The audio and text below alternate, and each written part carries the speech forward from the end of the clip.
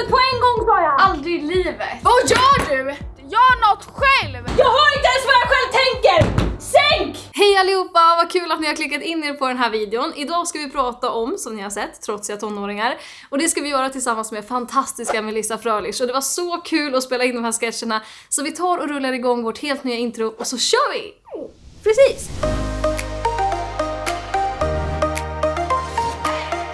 Tack så jättemycket för alla fina kommentarer om vårt nya intro. Det är Marcus som har gjort det och det är lite kul för det är väldigt personligt med att tyke är med på en och häst på en och sådär. Så det är lite roligt, så tack för alla fina kommentarer. I den här videon så tänker jag att jag liksom kastar tillbaka mig själv lite grann i liksom min tonår för mycket av de här händelserna är liksom kopplade från mitt liv och några händelser är från ert liv för ni skickade in jättebra tips som vanligt på Instagram så tack så jättemycket för det. Och den första punkten, det är ju såklart de här tonåringarna som verkligen blir arg för typ ingenting. Alltså hur gör man för att byta profilbild på Facebook? Jag vet inte. Jag vet inte, jag kan inte. Ser jag ut som ett lexikon? Jag har inte ens Facebook. Hur ska jag kunna veta hur man byter den där lilla bilden på Facebook? Kan du bara låta mig vara och sluta fråga mig om allt? Gör något själv. Hej då! Men gumman! Varför blir du så arg? Gumman! Jag vill ju bara ha hjälp med Facebook. Så himla sur. Nej men för vissa tonåringar så kunde det ju verkligen bara liksom rinna över och då pratar vi verkligen, verkligen rinna över. Det var liksom, det bara rann över från vägen liksom. Han är så söt. En annan väldigt så här, typisk trotsig tonåring är ju de här som liksom tjafsar emot när man typ ber om lite hjälp. Sådär, då ska vi se. Du, nu tänkte jag gå och ta hand om tvätten så det vore jättesnällt Melissa om du kan plocka ur diskmaskinen. Varför ska jag plocka ur diskmaskinen? Ja men nu bad jag dig göra det eftersom jag ska ta hand om våran tvätt. Ja, men jag kanske inte har lust med det. Nej, men du får göra det nu bara och fixa Fast har du tänkt på vad jag vill? Jag gör allt hela tiden. Melissa, du gör typ ingenting här. Jag gör ingenting. Nej. Jag gör allt. Nej, du, det nej, inte. jo. Du, vet du, jag orkar inte med det här tjafset. Du får plocka ur diskmaskinen Nej! bara. Men varför ska det vara sånt tjafs när jag ber dig plocka ur diskmaskinen? Men jag vill inte göra alla dina sysslor hela Inte mina syster, vi tiden. hjälps åt som en familj. Du, Du är vuxen. Ja, och du plockar ur diskmaskinen när jag säger åt dig bara. Nej, jag tänker inte plocka ur diskmaskinen. Jättebra att du gör det Melissa. Jag tänker inte plocka ur diskmaskinen. Alltså vissa kan ju på riktigt få liksom ett galet utbrott. Ja, precis. Och ni får jättegärna se hela den här videon och sen kommentera vilken replik som var absolut roligast. Sätt den gärna i citattecken. En annan punkt som faktiskt Marcus kom på var ju de här tonåringarna som lyssnar på ashög musik och liksom vägrar att sänka.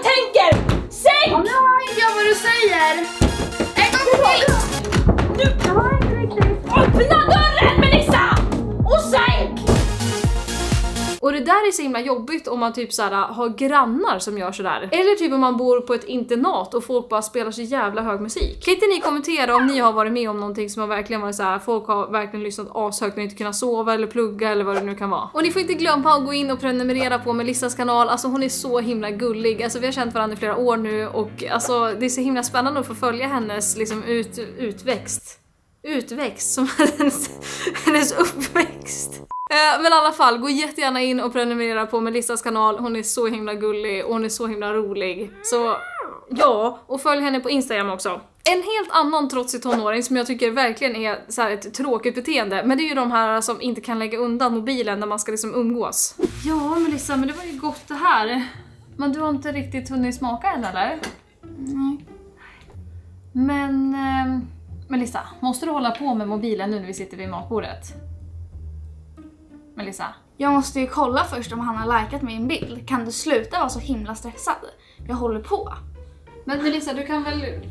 Kan du inte lägga ner telefonen en stund nu när vi sitter och pratar? Du försöker umgås lite grann, som en familj. Mm. Men du, då kanske vi ska göra så här. telefonen är väldigt törstig. Vad gör du? Ja, men jag tänkte att telefonen kanske var lite törstig. Du bara, ja, du får börja hälla vatten på mobilen. Smart. Gör det. Nu är det tydligen jag som är sjuk här och galen. Mm, roligt. Nej men det där är så himla tråkigt för man har liksom ganska få timmar ändå med sin familj och sina vänner och vad det nu kan vara för att det blir ju ändå att man jobbar, man kanske är på olika ställen och sådär så man kan ju verkligen passa på att umgås när man väl kan det. En grej som jag verkligen så här kommer ihåg specifikt när man var tonåring, det var ju när föräldrarna gick in i ens rum utan att knacka. Melissa, vet du vad? Diskmaskinen den plockar inte ur sig av sig Kan du själv. inte knacka innan du kommer in? Vet du fortfarande Men att diskmaskinen vill inte plocka ur sig av sig själv? Visst är det konstigt? Ska du plocka ur diskmaskinen? Eller? Ja, okej. Visst, jag plockar ur diskmaskinen. Vad bra. Stäng dörren. Vet du, jag trodde att den skulle stänga sig av sig själv. Men snälla, stäng dörren! Alltså det här är så mycket min pappa. Alltså han bara alltid bara gick in så här. Man bara snälla kan du bara knacka innan? Sen har vi ju de här tonåringarna som vägrar att komma ut från sitt rum. Melissa! Du skulle ju ta hand om soporna sa jag ju!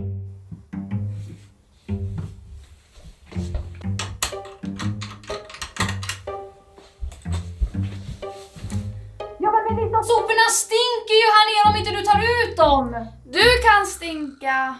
Hörru du! Nu kommer du ut från rummet på en gång sa jag! Aldrig i livet. Du lyssnar inte vad jag säger och kommer ut härifrån! Melissa! Aldrig i livet! Men vet du vad Melissa? Då åker jag till stallet själv så får inte du följa med. Vad sa du? Jag åker till stallet själv och du får inte följa Vad sa du med. att jag skulle göra? Du ska ta ut soporna. Jag håller på, absolut. Ja, jag är redan på väg att ta ut soporna. Och om ni har något så här specifikt önskemål om video så får ni jättegärna kommentera det här nedanför. Jag tycker det är jättekul att få förslag från er. En annan väldigt typisk trotsig tonåring är ju den som bråkar med sina småsyskon. Hej, Hej, vad är du? vadå? Jag undrar om du vill göra någonting. Men jag har inte tid nu. Men snälla. Men jag har inte tid nu, jag håller på att göra läxor. Då säger jag till mamma. Theodor! Theodor! Mamma, Melissa slog Theodor! Och jätteroligt att Melissas bror Theodor var med och gästade den här sketchen. Det blev väldigt trovärdigt och eh, så här, lite för mycket verklighet kanske. Och en grej som jag tror att många utav er kommer känna igen er i är ju såklart den här tonåringen som absolut inte ville städa sitt rum. Har tagit fram lite... Men gud hur du ser ut här inne! Vadå? Det är jättestökigt! Mitt rum, mina regler sa vi väl ändå? Men Melissa, jag blir alldeles orolig i hela själen när jag ser det här. Om det är ett så stort problem för dig att jag har lite grejer framme i mitt rum så kan du bara ta av dig glasögonen så ser du inte stöket. Problemet löst. Nej, Melissa du får ta och städa det här nu. Nej. Nu gör du som jag säger och Men städar. om du så gärna vill ha det städat så kan du städa själv. Då blir det ingen mer mobilsurf för dig. Jag orkar inte! Eller så är ni nu verkligen så här, ja men jag är jättepedant, alltså jag städar allting och jag gör det superfint hela tiden. Vissa är ju så. Och jag önskar så himla mycket att jag var en sån person. Alla är så här som ser mig på youtube alltså, men Hanna du är jätteordningsam, det är superfint och sådär. Jag är egentligen inte det, jag är jättestökig tyvärr. Hallå? Hallå? Gå ner! Här har vi någon som verkligen är i trotsåldern. Han ska springa till fönstret och äta upp all blomjord och äta på blommorna. Och så har vi såklart den här tonåringen också. Mm det Melissa! Är du på gång? Men vad är det här för någonting? Vadå var det här kläder? Ja men du har ju inte klätt på dig några ytterkläder, det är 18 minusgrader Jag har ute. ju både tjocktröja och byxor på mig. Du har ju hål i sommarjeans! Men det är inte sommarjeans. det är det ju visst det! Det är inte så kallt, vi ska ju bara gå en Du liten har inte ens en promenad. jacka på dig och mössa och vantar! Vi ska ju inte direkt åka på skidsemester. Nej men du måste ha på dig vinterkläder Melissa, det är Men jag- iskallt Ja, om ute! det var sommar då skulle jag ha t-shirt. Ja men nu är det vinter och 18 minus, gå och sätt på dig en vinterjacka! Vet du hur varm den här tjocktröjan är? Det är en tunn tjocktröja! Nej! Kan du bara klä på dig vinterkläder? Jag har inte kläder på mig. Vet du vad, jag vill inte höra ett enda ord om att du fryser. Nej, nej, nej. Nej, inte ett enda ord. Nej. Och inte på någon, hela den här timmen. Nej! Gå nu istället.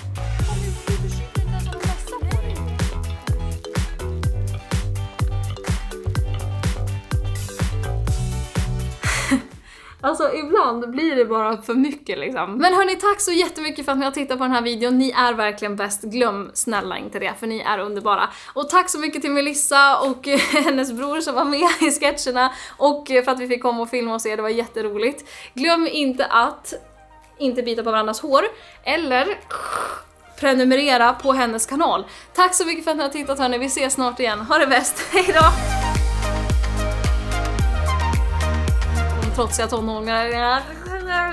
Det höll på så bra där, jag satte den nästan på första alltså. Men jag ska ju liksom kastas tillbaka. Jag tycker... Marcus, du får hålla i honom. Och sänk! Något sånt eller? Du är verkligen en tant. Men jag ska bara... Nej, men... Mm, tack för den tycker jag. Oj, den var trög att få upp. Från en gång. Det verkar så bra, bra Melissa. Skitbra.